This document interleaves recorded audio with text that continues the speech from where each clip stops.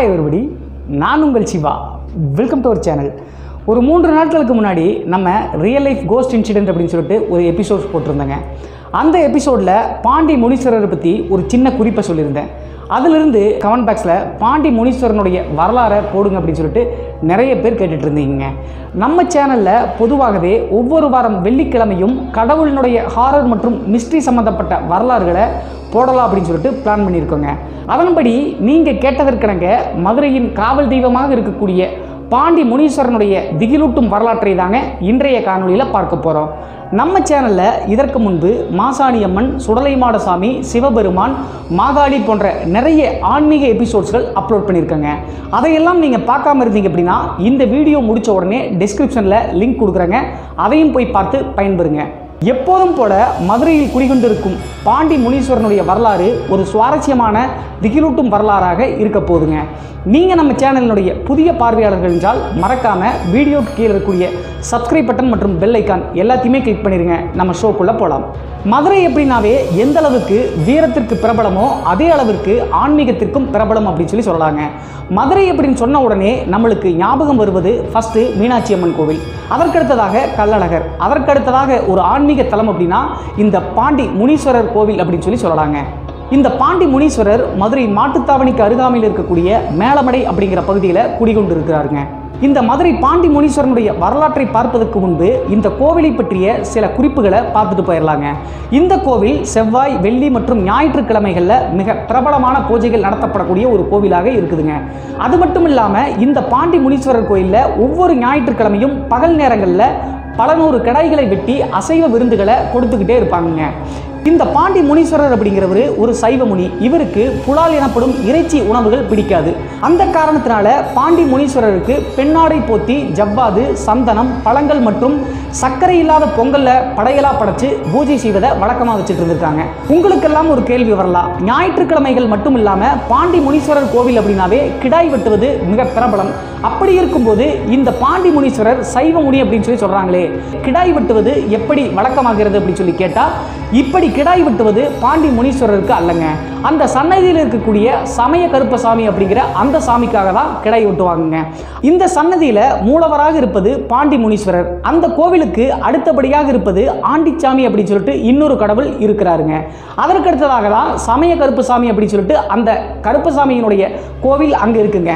அந்த சமய கருப்பணன் சாமி அப்படிங்கிற அந்த கடவுளுக்காக தான் பாண்டி முனீஸ்வரர் கோயிலில் கெடா வெட்டி மது மற்றும் சுருட்டை எல்லாம் படையலாக படைத்து இருபத்தி நான்கு மணி நேரமும் பூஜை செஞ்சுட்டு இருப்பாங்க இந்த சமய கருப்புசாமிக்கும் ஒரு வரலாறு இருக்குங்க. ஆங்கிலேயர் காலத்தில் இந்த சமய கருப்புசாமியினுடைய கோவிலுக்கு ஒரு ஆங்கிலேய ஆஃபீஸர் ஒருத்தர் வந்து இன்னைக்கு எத்தனை மிருகங்களை நான் வேட்டையாட போகிறேன் அப்படின்னு சொல்லிட்டு ஒரு குறி கேட்டிருக்காருங்க. அப்போது சமய கருப்பு சாமி இருந்து எந்தவித பதிலும் அந்த ஆங்கிலேய அதிகாரிக்கு வரவே இல்லைங்க.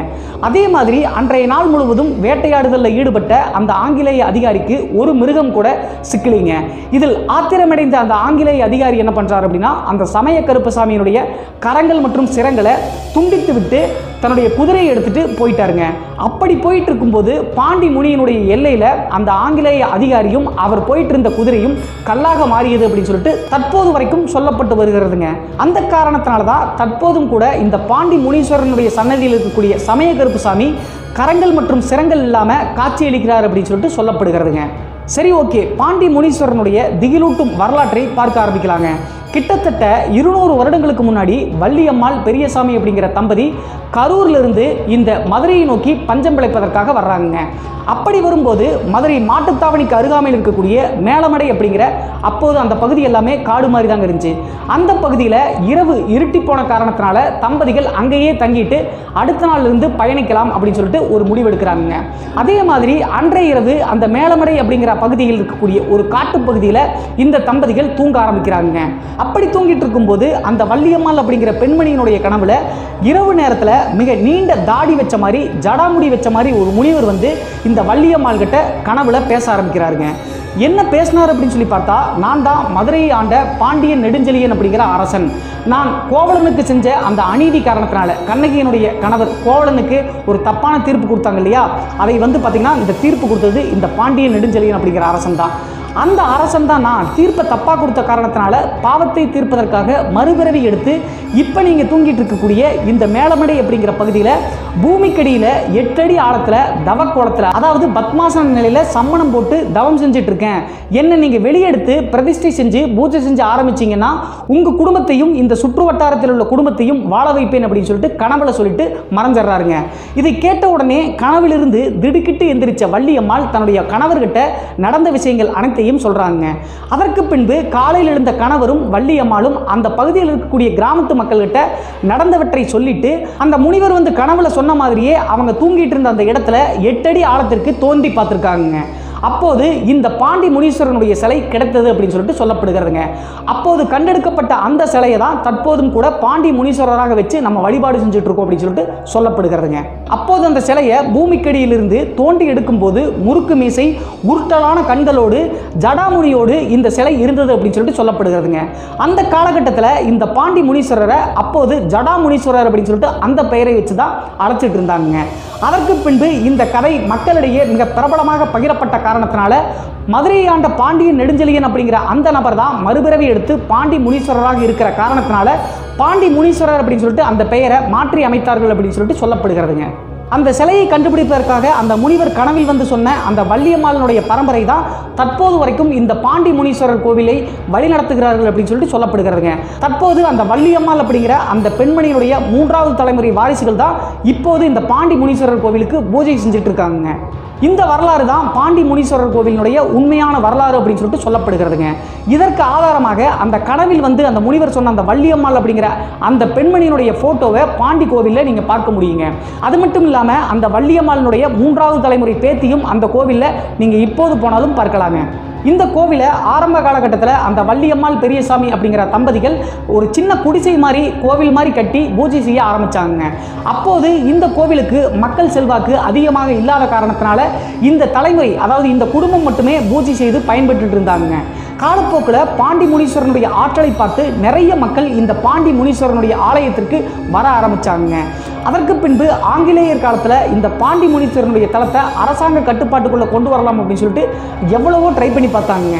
ஆனால் நிறைய தடங்கல்கள் காரணத்தினால பாண்டி முனீஸ்வரனுடைய கோவில் அரசாங்க கட்டுப்பாட்டுக்குள்ளே கொண்டு வரவே முடியலைங்க. ஆனால் கிட்டத்தட்ட ஒரு ஐந்து வருடங்களுக்கு முன்பு தமிழ்நாடு அரசு கட்டுப்பாட்டில் இந்த பாண்டி முனீஸ்வரனுடைய கோவில் கொண்டு வரப்பட்டுள்ளதுங்க. அப்படி கொண்டு வரப்பட்டாலும் கூட வள்ளியம்மாளினுடைய அந்த பரம்பரை வாரிசுகள் தான் தற்போதும் கூட இந்த பாண்டி முனீஸ்வரனுடைய கோவிலை நிர்வகித்துட்டு இருக்காங்க அப்படிங்கிறது மிக குறிப்பிடத்தக்க ஒரு விஷயம்ங்க.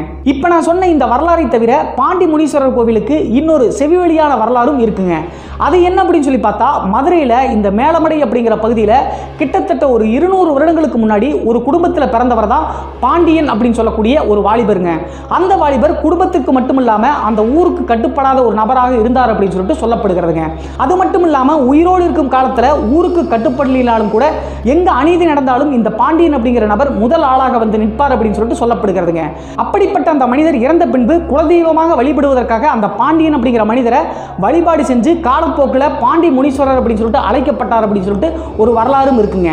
இதற்கு உதாரணமாக அந்த பாண்டியன் அப்படிங்கிற நபர் உயிரோடு இருக்கும் காலகட்டத்தில் யாருக்குமே அடங்காமல் இருந்த காரணத்தினால தான் தற்போதும் கூட மதுரையில் இருக்கக்கூடிய பாண்டி முனீஸ்வரனுடைய சன்னதியில் அந்த சிலைக்கு சங்கிலி போட்டு கட்டப்பட்டுள்ளது அப்படின்னு சொல்லிட்டு சொல்லியிருக்காங்க. ஆனால் அதற்கான காரணம் என்ன சொல்லப்படுகிறது அப்படின்னா உயிரோடு இருக்கும் காலகட்டத்தில் மிக கோபக்காரராக இருந்த காரணத்தினால எப்போது வேண்டுமானாலும் பாண்டி முனீஸ்வரர் ஆக்ரோஷமாக வெளிவரலாம் அப்படிங்கிற காரணத்தினால தான் சங்கிலி போட்டு கட்டியிருக்காங்க அப்படின்னு சொல்லிட்டு இந்த மாதிரி ஒரு தகவலும் வந்துட்டு இருக்குங்க. ஆனால் இந்த மதுரை பாண்டி முனீஸ்வரர் கோவிலை நிர்வகித்துக் கொண்டிருக்கக்கூடிய வள்ளியம்மாளுடைய வாரிசுகள் இருக்கக்கூடிய தற்போதைய வாரிசுகள் என்ன சொல்கிறாங்க அப்படின்னா அப்படியெல்லாம் அந்த சிலைக்கு சங்கிலி போட்டெல்லாம் கட்டப்படல. இந்த பாண்டி முனீஸ்வரனுடைய ஜடை எல்லாமே ஜடாமுனி மாதிரி இருக்கும்.